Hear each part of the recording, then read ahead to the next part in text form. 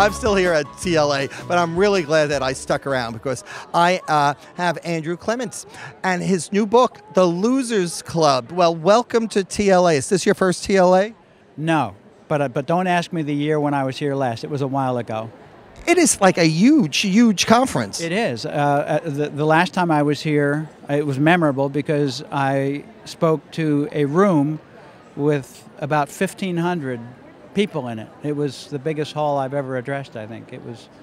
Uh, yeah, no, it's an ama- it's an amazing uh, organization, and I'm glad that you're here to talk about the Losers Club. The New York Times called you the master of the school story. That's like, a, you know, a title that's really uh, that you do. You feel you have to live up to that? Well, uh, no. Okay. I don't. I, I, uh, I, I'm, I'm grateful for their accolades, but uh, then again, you know, other things have been said as well. So you have to take the bitter with the sweet. That was a sweet one. Yeah, so the Losers Club comes out in August, just in time for the beginning of school. So tell us, and this is a school story. It is. Well, the main character's problem is that he loves to read too much, uh, to the point where it gets in the way of his schoolwork and gets in the way of his, uh, in, in, a way, in, in, a way of his life. You know, he, he uh, you know, I always tell kids uh, when when I write re- respond to their letters to me, I I say I'm glad you've discovered that reading is a great way to spend some of your time. Not all of your time. I don't say that, but but that's the truth. We don't, you know, we're not trying to turn them into just complete bookaholics. You know, we want them to love books, but there's a whole lot more as well. Um, so it's a uh, and this guy's kind of tipped over the edge in the wrong direction. He's become famous at school for always trying to read during classes, and when he's not reading, he's thinking about what he just finished reading. Um, so his grades are suffering, and you know on uh, page one, he's sitting on the seat outside the principal's office waiting. You know he's 45 minutes into his sixth grade year, and he's already been sent to the to the principal's office for not paying attention in class and trying to read on the sly. Uh, so, would you call your character is Alec? And yes, and uh, would you call him like a reading addict? Kind of. I mean, he's he's a he's a genuine bookworm, and and he's uh, he's a lot like me at that point in my life. And in fact, I was called by a number of kids, uh, some friends, some not, uh, the bookworm you know, I, I had plenty of raw materials to draw upon in terms of just because um, there's nothing better than reading. I mean, I, you know, my definition of a vacation is books and the time to read them.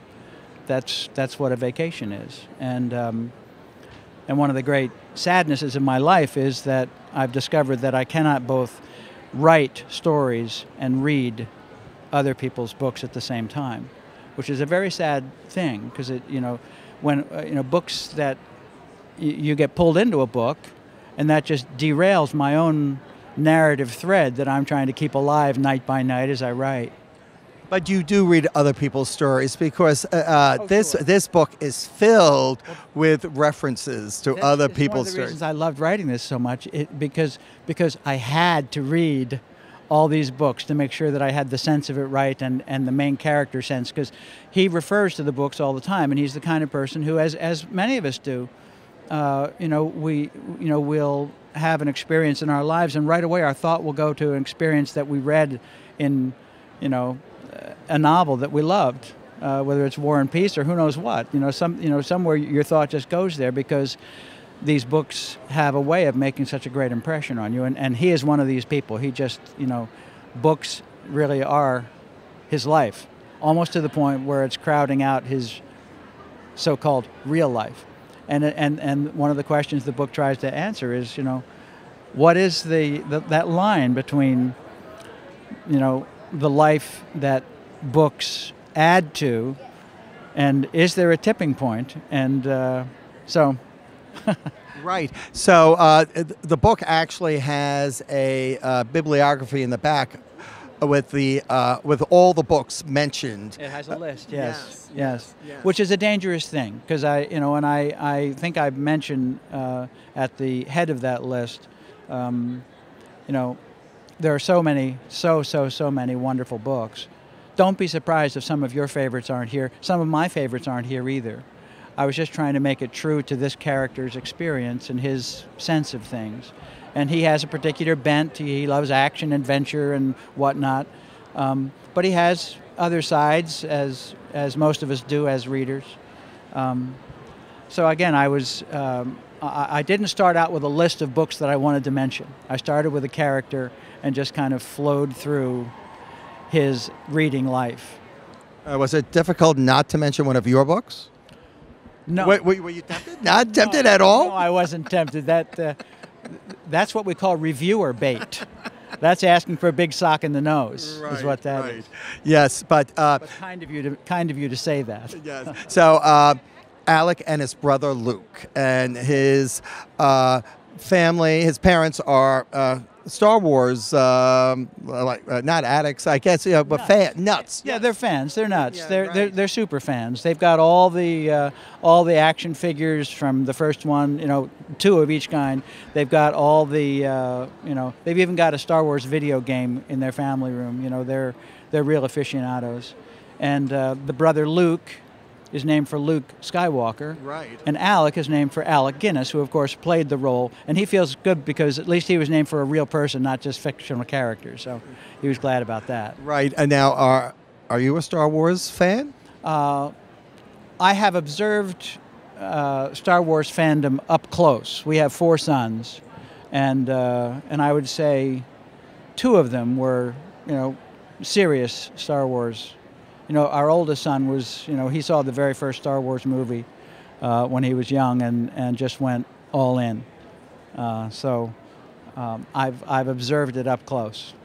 Uh, so the Losers Club is a uh, a club he forms in school uh, for to read. To read. Yes, yes. right. And he names it the Losers Club because he doesn't want there to be a lot of people there.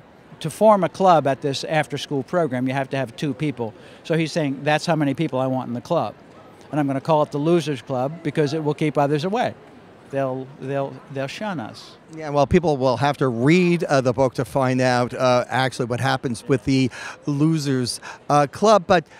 Uh, you not only uh, mention uh, books, but you mention some short stories, science fiction, Ray Bradbury, and I actually don't recall the title of the short story, but I'm sure you do. But you make reference to it, but you really uh, pique uh, people's interest uh, either to go back and reread or in my case to read that particular story. Now uh, uh it's, it's, called all summer in a day. Right. and it is it really is a, an amazing piece of short fiction. And uh, it's very short and um, but extremely powerful. And it made a great impression on me when i first read it.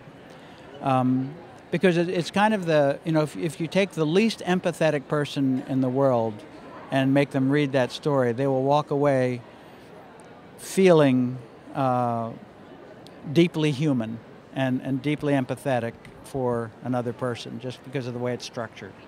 Well you know I'm a former uh, school librarian and a retired school librarian, uh, but uh, reading this book, I said, well, if I was still in a school, I know the how I would display this. I would put this book out and then put all the other books mentioned all around, so that uh, people can read this book and then be tempted to read the uh, the others. So the book comes out in um, in uh, August, as I said, yes. right before school. Your book Frindle. Yes.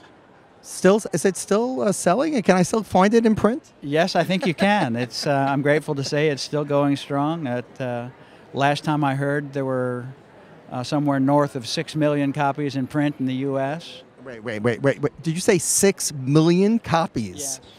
No, no, it, it, has. Uh, um, there have been a, a, lot of very kind teachers and librarians who have put all of our children through college. Uh, so I'm so grateful for that. Yeah. Great. Well, uh, for everyone watching the Losers Club, and uh, so glad that you stopped to chat about it. A great privilege. Thanks great, so much thank for you. all you're doing.